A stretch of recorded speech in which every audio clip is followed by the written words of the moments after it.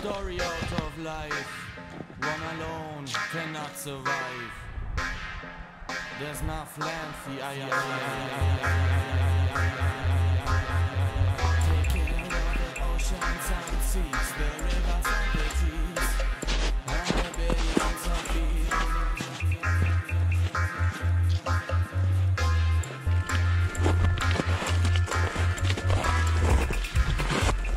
Windy Gap, das ist der Sattel hier. Wir verlassen jetzt so ein bisschen die, die Ridge, also den, ja, den Bergrücken. Das heißt, da hoch müssen wir nicht mehr, es geht jetzt da lang. Und ja, insgesamt heißt das auch, wir lassen so ein bisschen den Schnee hinter uns. Also es kommt doch was, das war es noch nicht ganz mit Schnee. Äh, morgen auch noch mal ein bisschen wohl, aber äh, ja, das waren halt die hohen Berge jetzt so ziemlich der, in der Wüste. Ist auch nicht schlecht. Mal gucken, morgen geht es dann richtig weit runter am Ende des Tages und ja, die nächsten paar Tage gehen dann durch die Wüste. Es wird heiß. Ich glaube, die nächsten 200, 300 Meilen. Wie gesagt, das war's mit den Bergen. Ja, hat Spaß gemacht mit dem Schnee. War schon ganz cool. Äh, ja, jetzt müssen wir noch mal gucken, dass wir Wasser finden. Die Quelle, die hier unterwegs war, die war noch, äh, ja, lag halt noch unter Schnee. Da unten ist der Highway 2.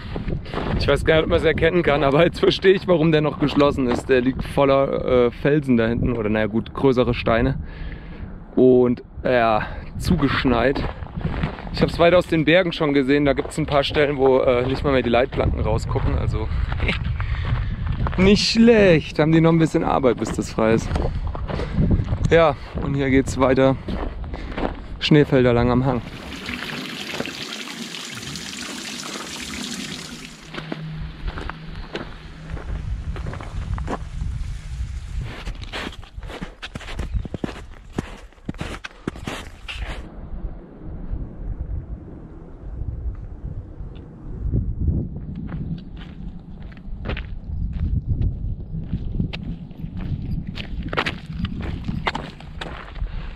So, wir haben eine schöne Siesta da unten gemacht.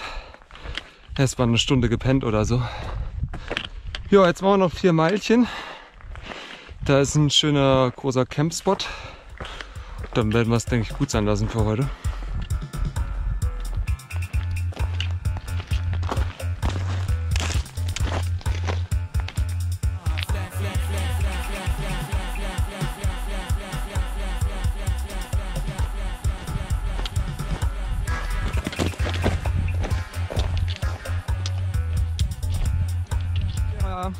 Schneeketten anziehen. Besser ist das.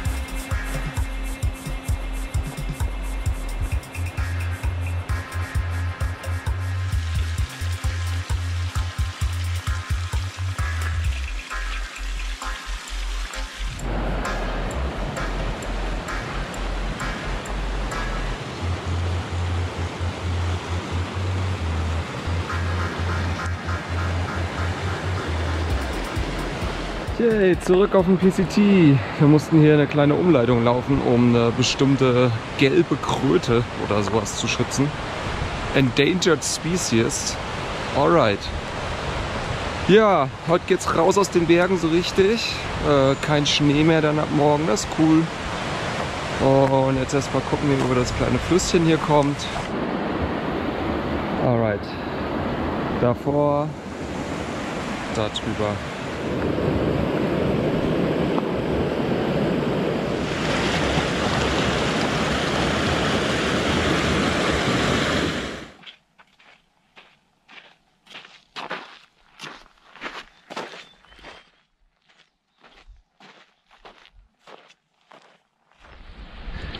Yay, meine 400.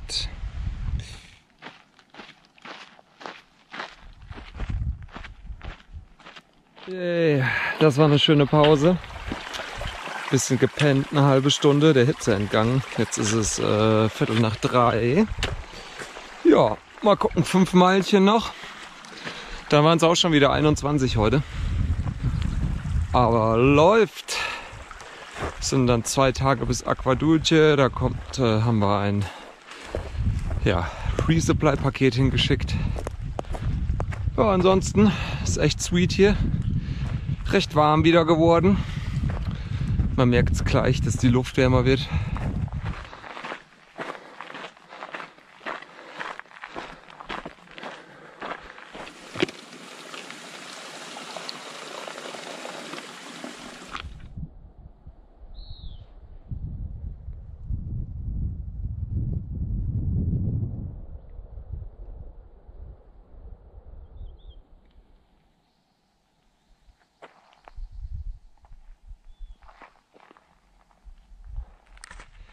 Acht Meilen haben wir jetzt, dann kommen wir zu einer Fire Station.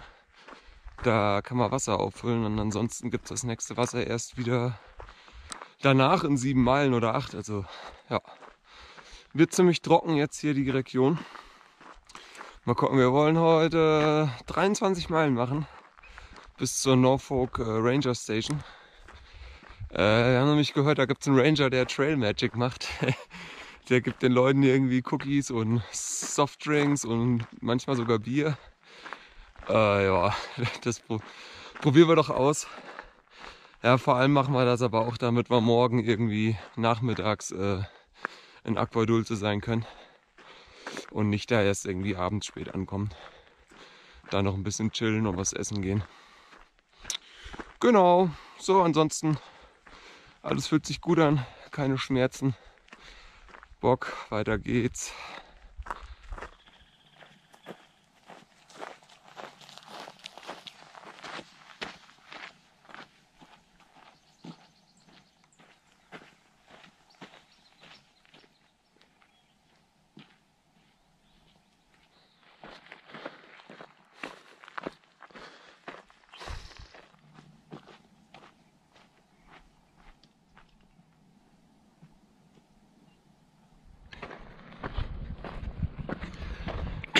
Magic. Yes. Happy 420.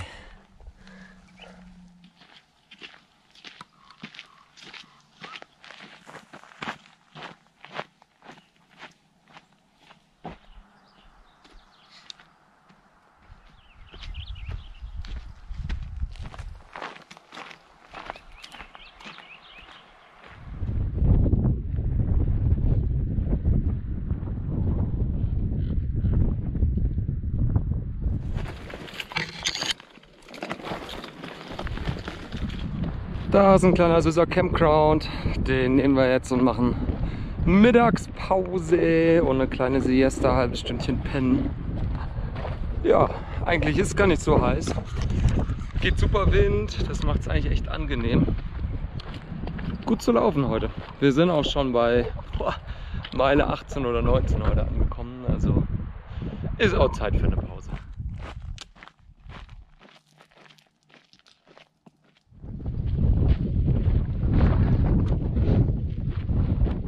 ...24 Meilen Trail Magic.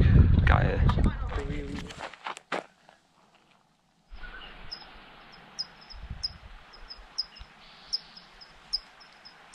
Ja, 4.30 Uhr hat der Wecker geklingelt. Äh, es wird nämlich richtig warm heute. Es sind 32 Grad gemeldet. Wir haben 18 Meilen bis Aquadulce. Da werden wir eine Nacht pennen bei Farmer John. Mal gucken. Und kriegen unser Resupply-Paket. Ja, und weil es eben so warm werden soll, wie gesagt, über 30 Grad. Äh, es hat jetzt schon hat jetzt schon 19 Grad und es ist irgendwie Viertel nach fünf oder so. Also ja, da kommen da so richtig warme Luftmassen, so wie so Wellen kommen hier den Berg hoch. Man kriegt schon eine Ahnung, was da unten abgeht.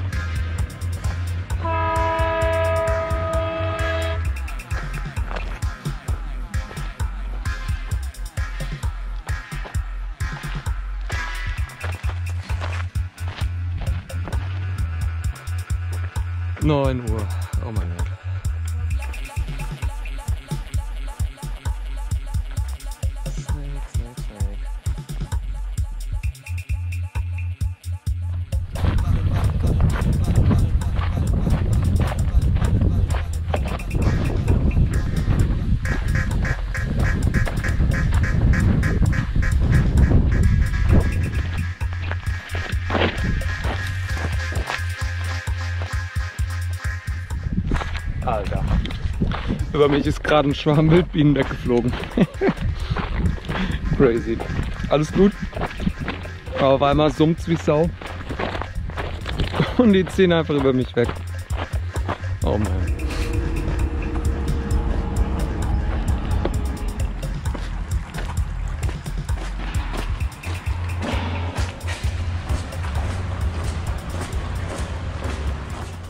Zivilisation. Ah, Town Food, Bier. Two Food Adventure. Mobiler Outdoor Store für die Hiker Season. Immer schön die Hiker Box checken.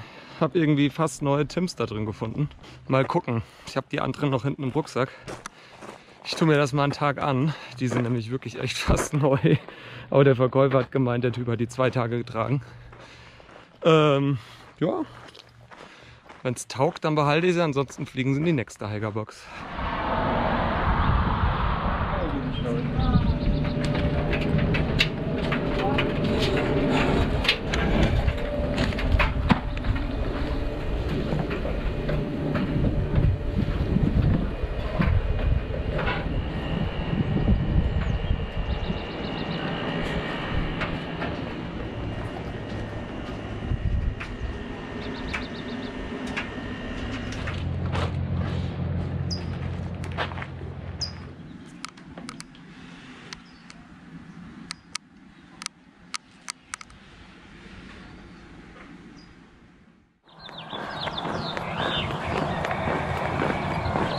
Yay, geschafft.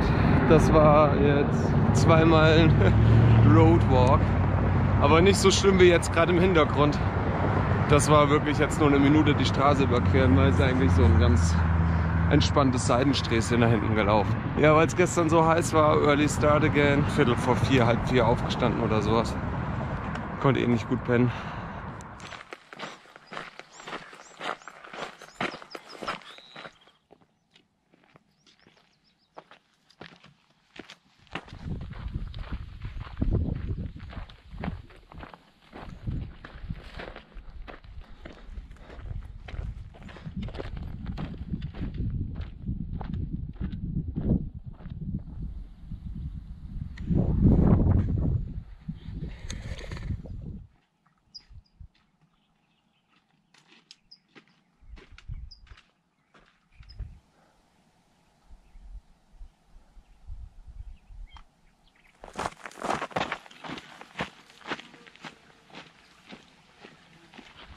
Ein langer Tag neigt sich dem Ende.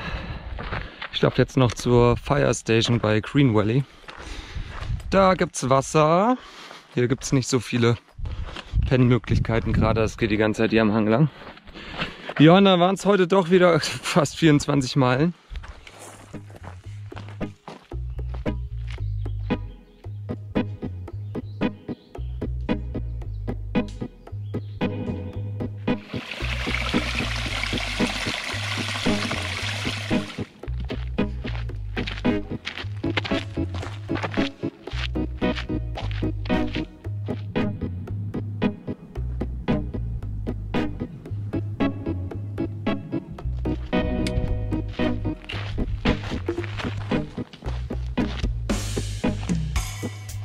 Hier ist Schatten. Heute ist echt unglaublich heiß.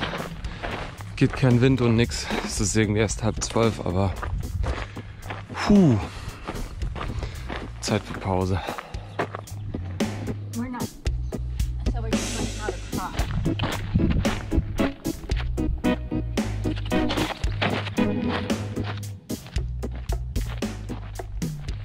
Endlich raus aus der Wüste. Zumindest mal wieder ein bisschen Schatten davon. Das ganze Gebiet war so verbrannt. Sieht echt traurig aus. So ein riesen verkohlter, abgerodeter Berghang und ja, die Pionierpflanzen ziehen drüber her. Naja. Hier wird's wieder ganz nice. Ich glaube, da vorne kommt auch Wasser.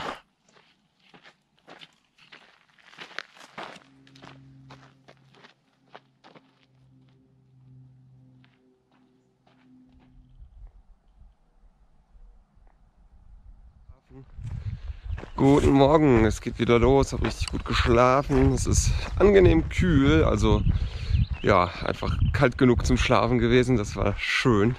Sternenhimmel. Jetzt geht's nach Hikertown.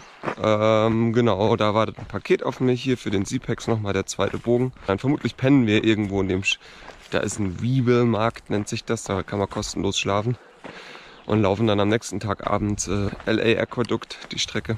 Ganz leichte Schmerzen noch in der Wade, das ist eher so was Muskuläres, keine Ahnung, aber es wird besser von Tag zu Tag.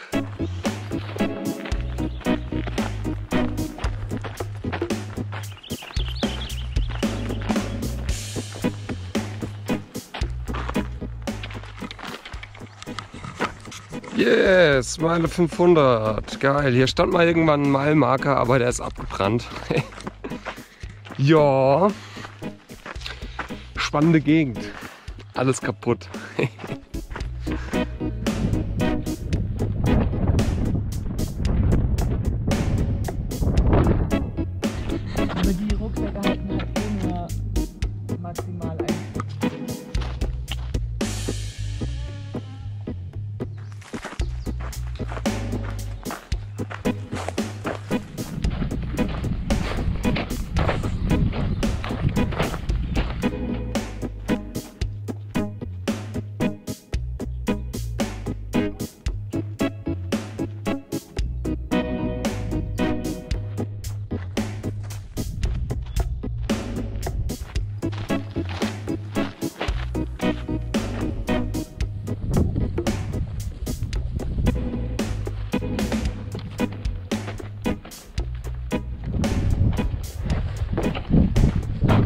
Yes, Hiker Town.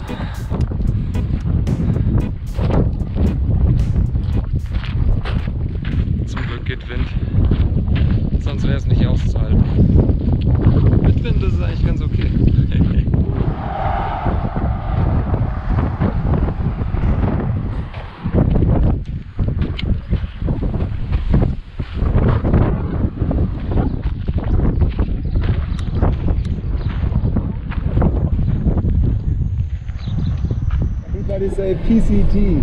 PCT. PCT. Ja.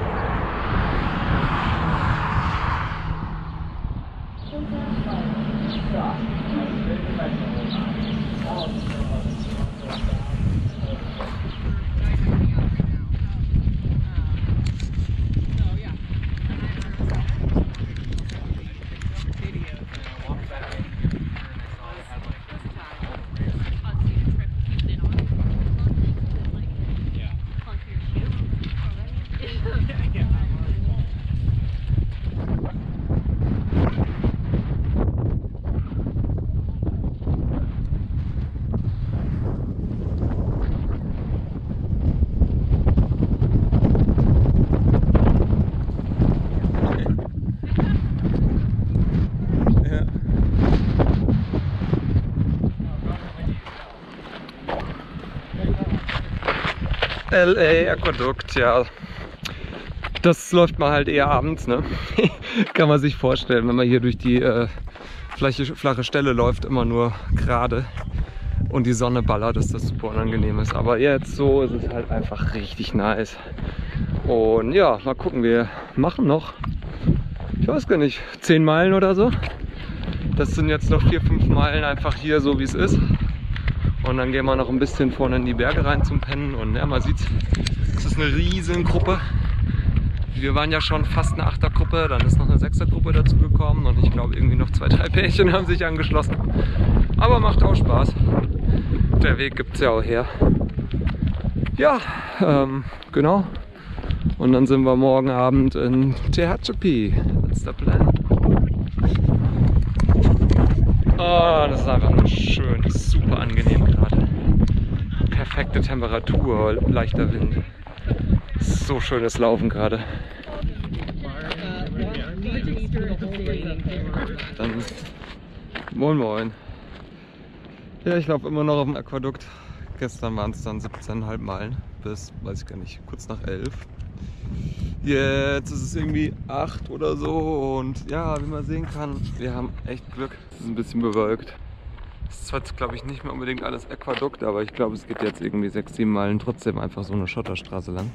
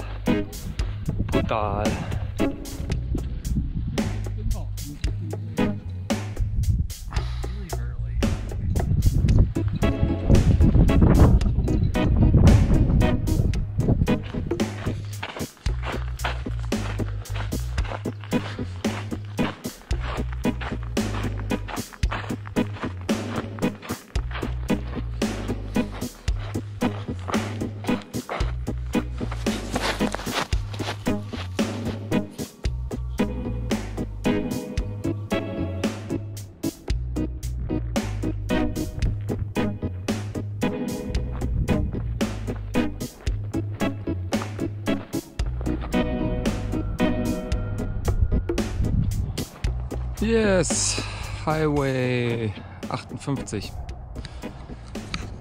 Das ist der Weg raus in den Zero Day. Leider fahren sonntags keine Busse, deswegen werden wir einen Trail Angel anrufen. Ja. Und dann gibt's Town Food.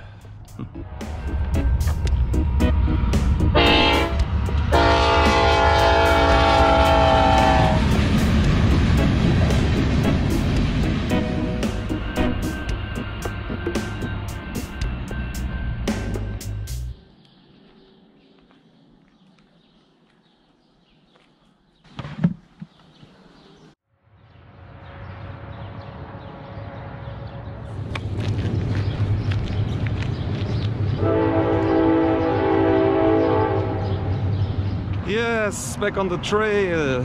Mit dem Bus sind wir zurückgefahren. War super easy. Und ja, mal gucken. Heute keine Wolken, um uns zu schützen. Es soll so Ende 20 Grad werden. Wir haben 17 Meilen bis zum Wasser und äh, ich weiß gar nicht, das geht äh, knapp 2300 Fuß hoch. Äh, ja, wird schon. Fühlt sich auf jeden Fall gut an, zurück am Trail zu sein. Und ja, wir schmieden die ersten ernst gemeinten Pläne, die Sierra, die Sierra zu äh, und Flippen zu umgehen. Ja, mal gucken.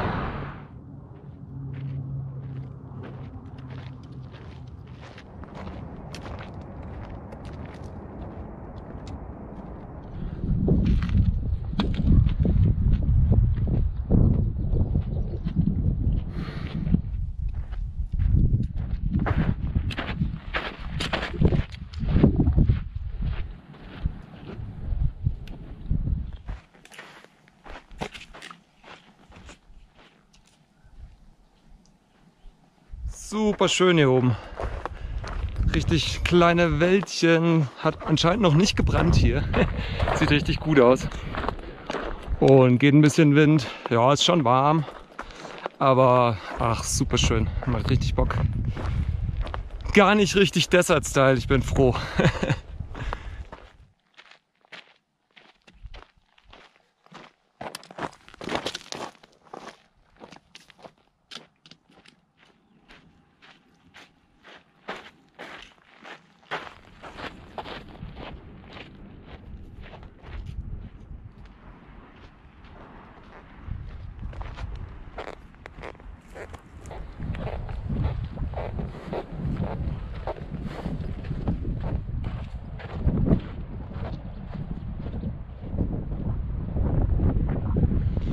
zwar ein bisschen heiß, aber war trotzdem echt ein schöner Tag.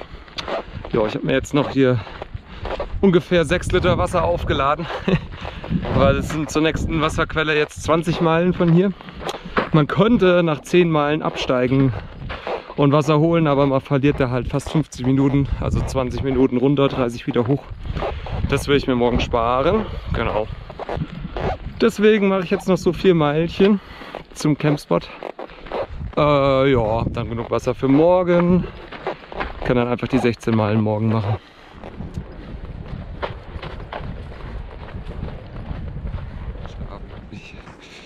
Ist recht fresh heute Morgen schon. Aber ist irgendwie auch ganz nett. Mal gucken.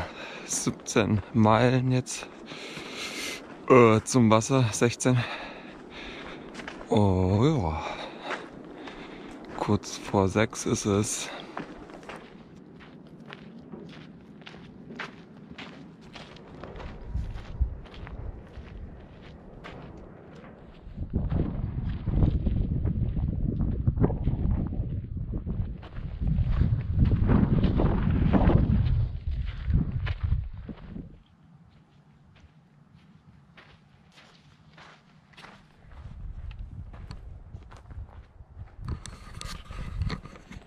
Yay, 600 Meilen.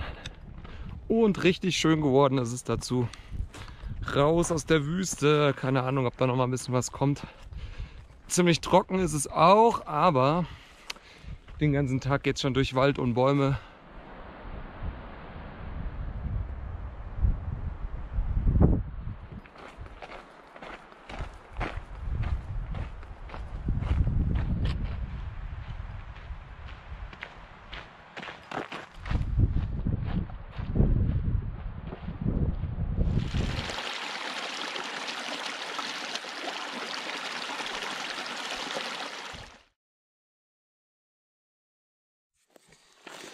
Moin Moin. So, gute Nacht, gut geschlafen, aber es war unerwarteterweise ganz schön kalt. Äh, Minusgrade. Hat man nicht mit gerechnet. Äh, ein bisschen gefroren heute Morgen, aber passt schon. Und jetzt, äh, ja, geht's los heute. Wieder ein bisschen rein in die Wüste, habe ich gesehen. Wieder zurück zu Joshua Trees und so. Also ein bisschen raus aus dem Wald leider. Ja, passt schon. 20 Meilen wollen wir machen. Dann können wir wieder am Wasser campen und dann sonst morgen nochmal 20 Meilen zum Walker Pass. Um, genau, von da aus erstmal nach Lake Isabel, dann werden wir uns ein bisschen sortieren und aller Wahrscheinlichkeit nach unseren Flip-Flop-Wagen hoch ja, zur Washington Border. Wir werden sehen, was wir machen. Nochmal ein bisschen diskutieren weil es relativ egal, wo man jetzt hingeht, es hat jetzt überall Schnee. Also es wird so schön gerade, eigentlich würde ich gerne den Weg einfach weitergehen. Aber wenn man das macht, dann ja, geht's halt in spätestens vier, fünf Tagen, sechs Tagen hoch in die Sierras. Und da warten halt, da waren halt zwei, drei Meter Schnee auf einen. Die Höhe vom Schnee ist gar nicht so schlimm. Das Schlimme ist, dass man halt einfach vier, fünf Wochen über eine geschlossene Schneedecke gehen muss. Auf Schneezelten und so. Und das zerrt dann doch ganz schön. Ja, so. Trail Register, hier trage ich mich mal ein. Und dann geht's los.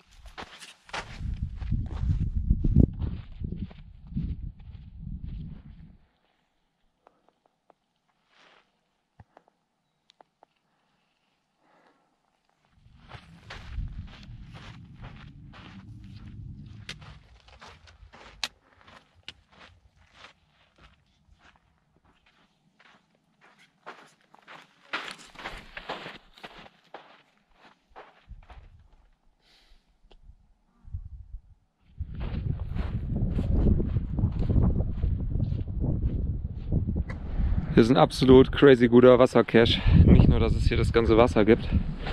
Es gibt hier einfach echt auch ein paar Boxen mit äh, Powerbanks. Und das sind richtig viele. Das sind hier, ich würde sagen, an die 100 Stück. Okay, das ist jetzt nur so halb voll.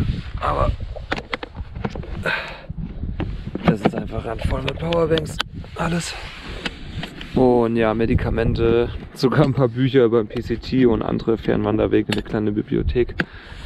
Bisschen Werkzeug, um wer Lust hat, ein bisschen Trail Maintenance zu machen, also ein bisschen den Weg freizuschneiden.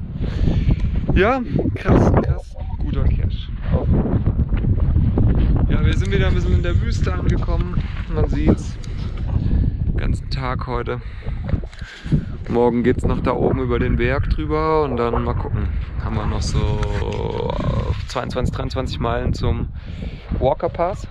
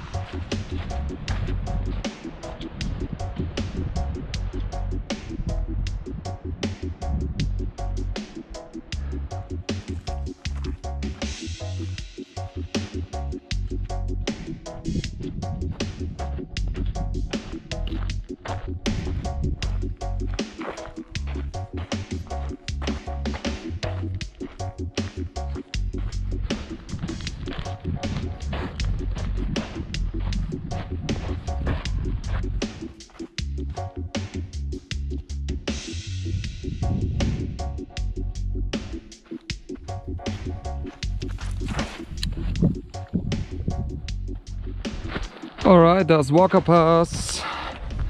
Wir werden jetzt hier in der Nähe campen. Da gibt es ein ja, Campground irgendwie. For free. Und dann morgen in die Stadt gehen, resupplyen. Und dann vermutlich noch bis Kennedy Meadows laufen. Das ist so weit. Moin Moin. Planänderung. Wir haben Power Stroke wieder getroffen am Park, am Campground am Walker Pass. Der hat Trail Magic gemacht. Ja, und äh, morgen macht er wieder Trail Magic. Chimney Creek sind 30 Meilen von hier. Und ja, wir haben beschlossen, wir folgen dem. Das heißt, wir gehen jetzt doch nach Kennedy Meadows und ja, versuchen heute 30 Meilen zu ballern. Haben aber natürlich ein sehr gutes Ziel.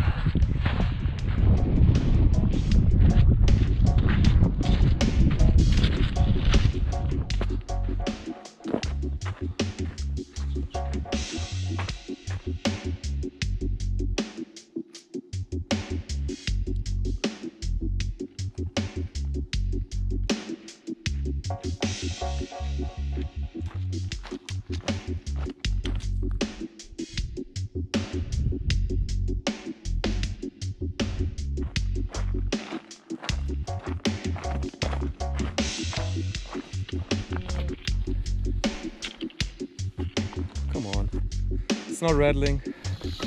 Zwei Minuten später.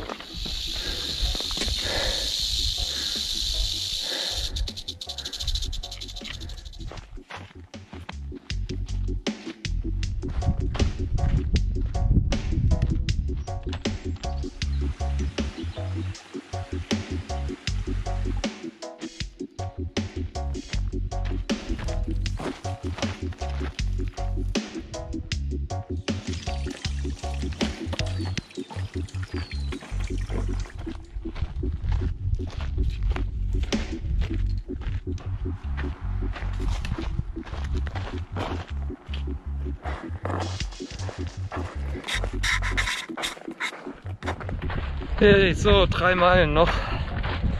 Dann sind die 30 voll. Und ich bei der Trail Magic. Ah, Es sind jetzt genau zwölf Stunden. War ganz schöne Arbeit. 2000 Höhenmeter hoch, 1800 wieder runter.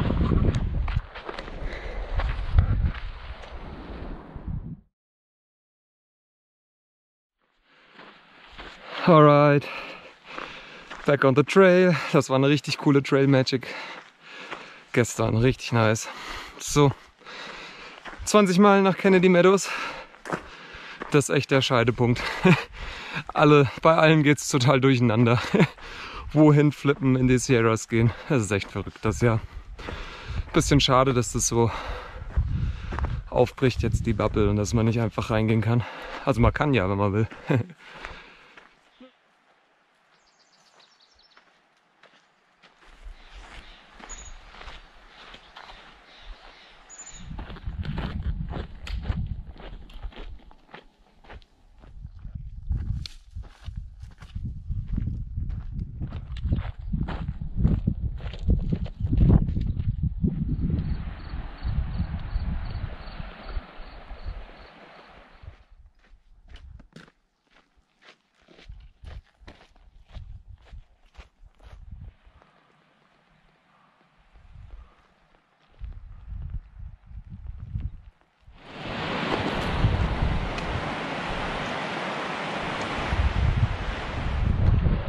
Alright.